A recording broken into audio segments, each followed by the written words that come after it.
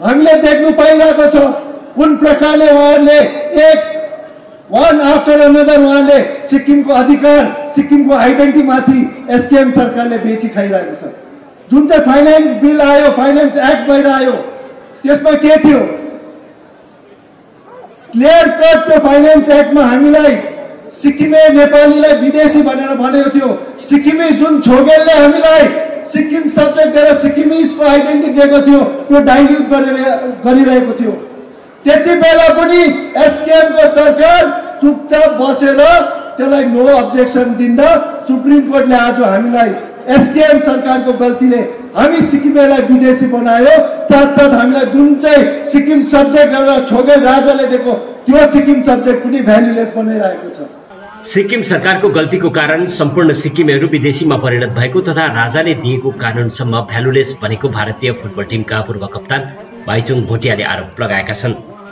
आज औपचारिक रूपमा सिक्किम डेमोक्रेटिक फ्रन्ट एसडिएफ पार्टीमा प्रवेश गरेपछि भोटियाले सरकारमाथि यस्तो आरोप लगाएका हुन्। वर्तमान सरकारले गरेका गल्तीहरू सच्याउन तथा सिक्किमलाई सही ट्र्याकमा फर्काइ ल्याउन अनुभवी नेताको खाँचो रहेको भन्दै आफू एसडिएफ पार्टीमा प्रवेश गरेको उनले बताएका छन्। एसकेएम पार्टीमा राम्रा मान्छेहरू पनि भएको उल्लेख गर्दै भोटियाले आफ्नो सम्बोधनबाट सिक्किम बचाउन उनीहरूलाई सँगै मिलेर काम गर्न आग्रह पनि गरेका छन्। हिमाली राज्य सिक्किमको मौसम चिसिँदै गए पनि राजनीतिक माहौल भने बिस्तारै तातिँदै गएको अनुभव गरिएको छ। विशेष गरेर सिक्किमको प्रमुख प्रतिपक्षी दल सिक्किम डेमोक्रेटिक फ्रन्टले आफ्नो राजनीतिक सक्रियताका साथमा राज्यव्यापी रूपमा कार्यक्रम सञ्चालन गर्दै आएको छ। यस्तैमा आज दक्षिण सिक्किमको राभङ्ला बजारमा विशाल जनसभाको साथमा मास जोइनिङ कार्यक्रम सम्पन्न गरेको छ। राज्यका पूर्व मुख्यमन्त्री तथा एसडिएफ पार्टीका अध्यक्ष पवन चामलिङको विशेष उपस्थितिमा सम्पन्न कार्यक्रममा भारतीय फुटबल टिमका पूर्व कप्तान तथा हाम्रो सिक्किम पार्टीका पूर्व अध्यक्ष भाइचुङ भोटिया औपचारिक रूपमा एसडिएफ पार्टीमा सामेल भएका छन्। यसका साथै भोटियाले आफ्नो पार्टी हाम्रो सिक्किम पार्टीलाई विधिवत रूपमा एसडिएफ पार्टीमा विलय पनि गराएका छन्। यसका अतिरिक्त सत्तारूढ एसकेएम पार्टी लगायत अन्य विभिन्न पार्टी परित्याग गरी सयौंका संख्याले एसडिएफ पार्टीलाई समर्थन जनाएका छन्।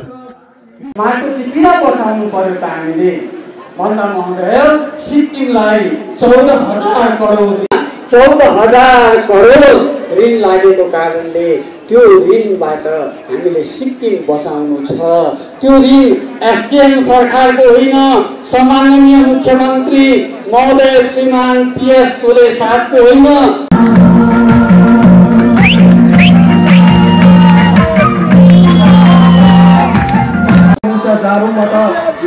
तिलमान धर्ती हुन्छ जारुङबाट जितलाल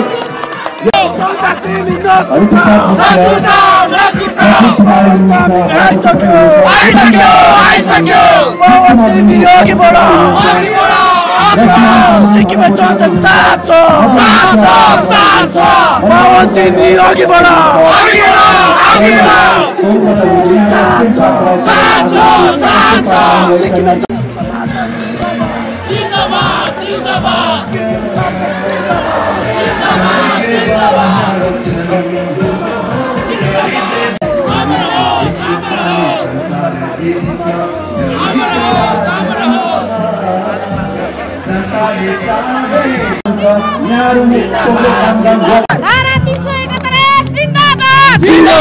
सिक्किम सब्जेक्ट जिन्दाबाद जिन्दाबाद जिन्दाबाद सिक्किमे जनता जिन्दाबाद विश्व जेनरल सेक्रेटरीबाट हुनुहुन्छ उहाँ चाहिँ आम आदमी गुरु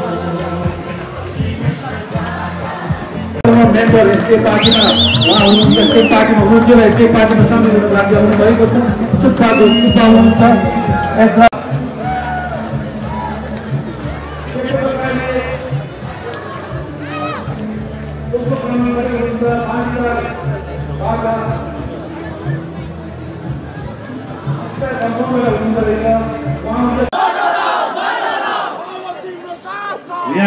अलिकति खाना खानु हुँदै रहेछ पकाएको छ।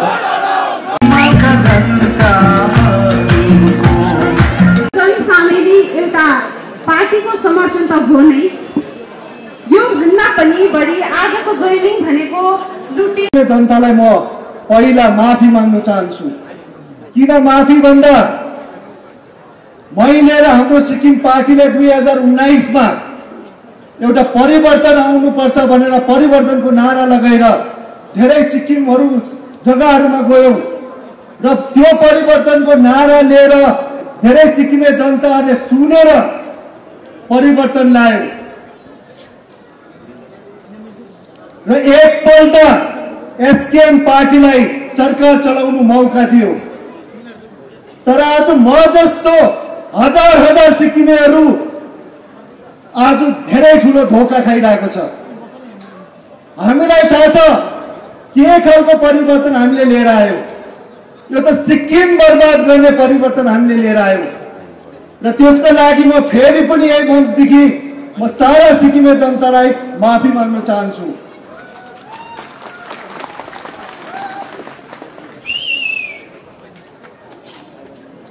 आज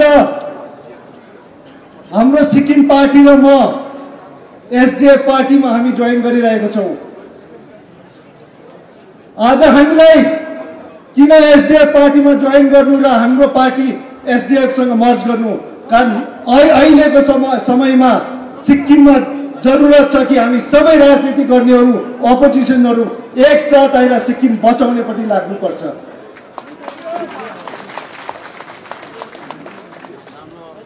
अहिले सिक्किमको मात्रै इन्टेलेक्चुअल्सहरू होइन बुद्धिजीवीहरू इन्डियाकै बुद्धिजीवीहरूले सबैले भनिरहेको छ कि लास्ट पाँच वर्षमा साढे चार सालमा एसकेएम सरकारले सिक्किमलाई दस पन्ध्र साल पछाडि लगेको छ।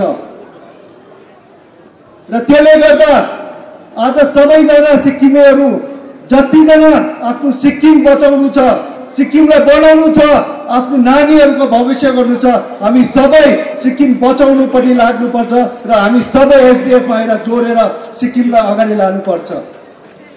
आज म धेरै धेरै खुसी छु कारण म आफै पनि आफ्नै गाउँ तिङ्किताम सङ्गनाथ बारफुङ क्षेत्रमा एसडिएफ पार्टीमा जोइन हुँदैछु। र मैले पनि आफ्नो गाउँ तिङ्किताम सङ्गनाथ र बारफुङ क्षेत्र आफ्नो जाति आफ्नो राज्यलाई फुटबल जगतमा खेलेर मैले देश विदेशमा चिनाउनु सकेँ।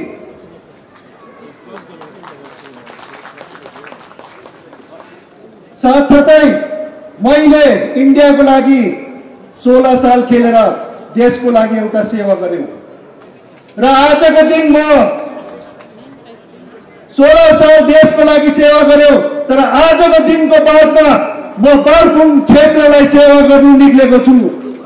र त्यसको लागि हामी सबै बारफुङ्गीहरू मिलेर बारफुङ क्षेत्रलाई एउटा वान अफ द मोस्ट पस्करस र वान अफ द बेस्ट क्षेत्र हामीले बनाउनु पर्छ आउने दिनमा। हामी सबैलाई थाहा छ एसकेएमको पार्टीको साढे चार सालमा कुन प्रकारले पोलिटिकल सोसियल इकोनोमिकलाई कस्तो प्रकारले क्षति पुऱ्याएको छ आर्टी आर्टिकल थ्री सेभेन्टी वान एफलाई कतिखेर डाइल्युट गरिसकेको छ यो मैले मात्रै भनेको होइन दुई तिन हप्ता अगाडि सिप्ल्याकको कन्भेन्सन भएको थियो सिक्किम भुटिया लेप्चा एसोसिएसनको गान्तोकमा त्यो कन्भेन्सनमा पनि सिप्ल्याकले उहाँको प्रेजेन्टेसनमा देखाएको छ र भन्नु पनि भएको छ कि आर्टिकल थ्री सेभेन्टी वान एफलाई यो साढे चार साल एसकेएम सरकारमा सबैभन्दा ज्यादा डाइल्युट एसकेएम सरकारले गरेको छ भनेर।